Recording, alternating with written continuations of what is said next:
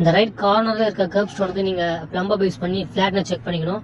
அதே மாதிரி அந்த எண்டில் லாஸ்ட்டில் இருக்குது பார்த்தீங்களா ஒரு பிளாக் அதையும் ப்ளம்பர் பேஸ் பண்ணி நீங்கள் ஃப்ளாட்னஸ் செக் பண்ணிக்கணும். ஸோ அது இந்த ரெண்டு பிளாக் தான் உங்களுக்கு வந்து ஒரு ரெஃபரன்ஸ் மார்க் மாதிரி ஒரு பெஞ்ச் மார்க்காக நீங்கள் வச்சுக்கணும். ப்ளஸ் பாட்டமில் ஒரு த்ரெட்டு ப்ளஸ் அப்பர் சர்ஃபேஸில் பார்த்தீங்கன்னா ஒரு ரெண்டு எஜ்ஜஸ் தெரியும். அதாவது அப்பருக்கும் ஒரு கார்னரில் ஒரு எஜ்ஜஸ் இருக்கும். ஸோ அந்த ரெண்டு எட்ஜஸ்க்கும் நீங்கள் லைனை கட்டிடணும்.